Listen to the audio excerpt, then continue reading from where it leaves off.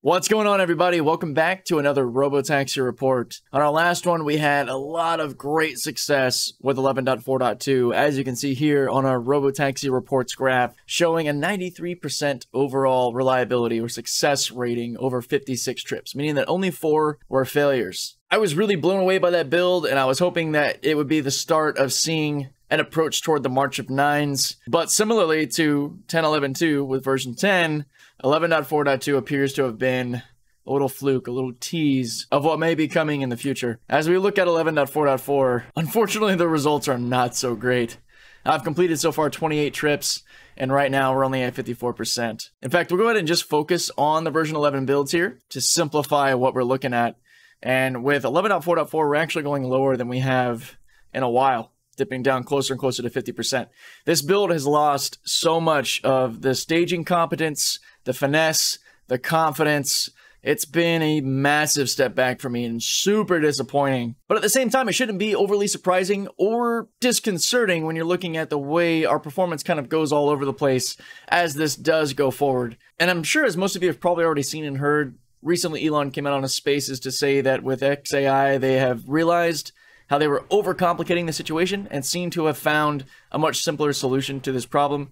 So we'll see if that ends up being the case and when that'll actually start to take effect. I wouldn't assume that that's going to happen tomorrow. This could be something that lays out a roadmap for improvements a year from now. Now, that isn't to say it won't happen sooner, but I think it's best to temper our expectations and see what happens going forward. I will say the performance of 11.4.4 is exactly why I waited and made sure I had a good thick sample size for 11.4.2. That way we could see that it was not so much a fluke, but just a really good singular build, a sort of unicorn build in itself. You know, if I had just done five, ten trips, you could write it off pretty easily. But the fact that I did over 50 trips with consistent performance in all the same areas that 11.4.4 is operating, there's added weight to those results and a stronger reflection on what we're seeing now with 4.4. Now, I've seen a lot of the same sentiment across the board that 4.4 has not been the best experience. And this may suck to hear, and sure, yeah, it's it's not fun to see it going the other way. But again, that's the reality of the situation. This is how you can tell that I'm not here to just pump it and overhype it.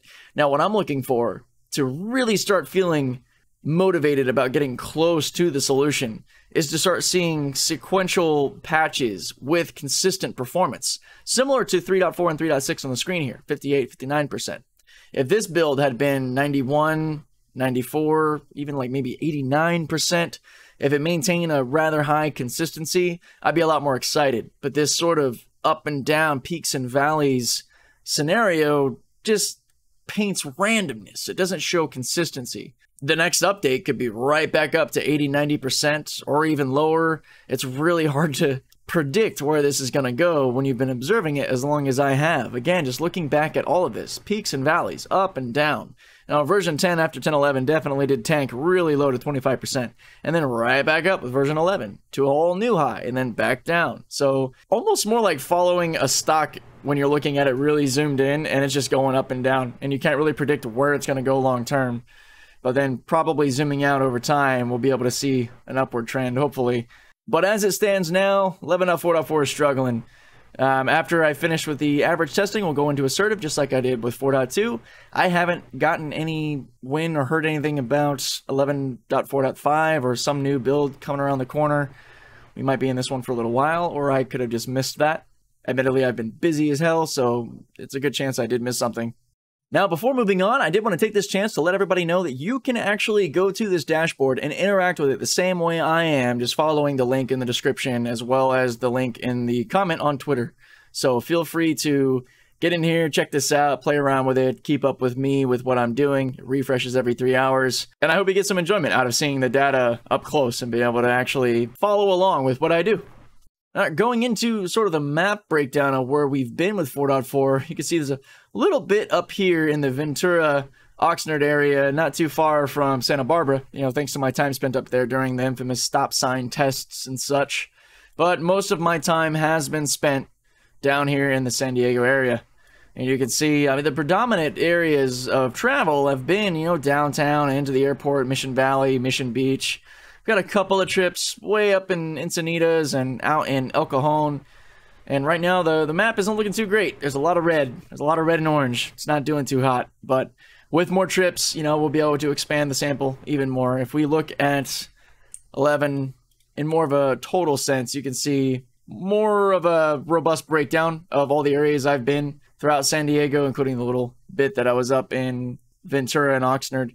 Once this starts to get good enough that San Diego seems conquered, I'm probably going to try to spend more time in the LA area, in the more challenging areas to see how it does there too.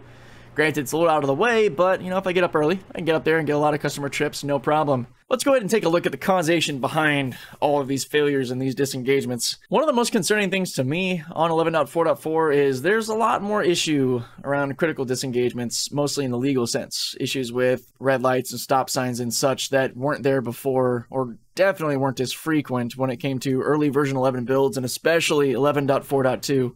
And on top of the legal stuff, the other critical disengagements are a lot higher. And four red wheel system errors three obstacle issues, whether it's construction or an object in the road, and then one safety concern where the vehicle was just going way too fast and another car was coming up, and I took over to prevent a very uncomfortable situation.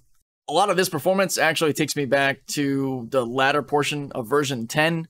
And of course, compared to 11.4.2, we've reintroduced a massive issue with staging where we're just choosing the wrong lanes or just completely missing a turn or taking the wrong exit it's as though the system's forgotten how to do the job when it comes to a robotaxi standpoint. Because again, for the robotaxi portion of this, if I have to hit the turn signal, if I have to disengage, grab it in any way, that's a failure. You know, because if I wasn't there, you know, that wouldn't have been a great situation for the customer in that transportation scenario.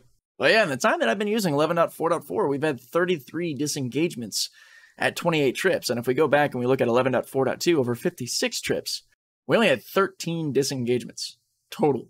And out of those 13, we only had three critical, you know, two red wheel system errors and one safety disengagement, which was that very first night using 4.2 when it was going way too fast up some vertical roads or some very steep roads, not vertical, obviously. And I had to take over just, it was way too ambitious that day. But the rest of the time using it, it was absolutely fantastic.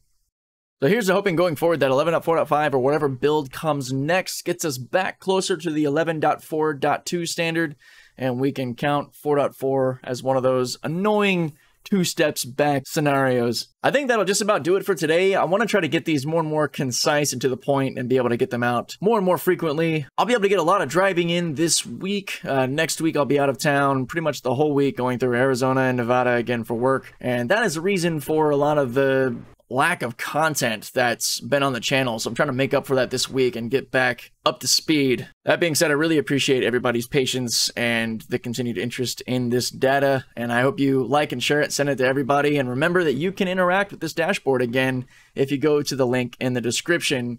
Thanks to Eliza's hard work, we're able to allow everybody to interact with this dashboard the same way you've seen me do here today. So I really hope you guys enjoy being able to interact with this dashboard. And though it's not true real time, it does refresh every three hours. So that's pretty good. And feel free to take screenshots or use this information to share it with friends and family, Twitter, YouTube, whatever. You know, I, I like people being able to see this and the work we're doing to show the progress of FSD going forward. But with that, I'm going to get out of here. I thank you all for the view and I'll catch you in the next video.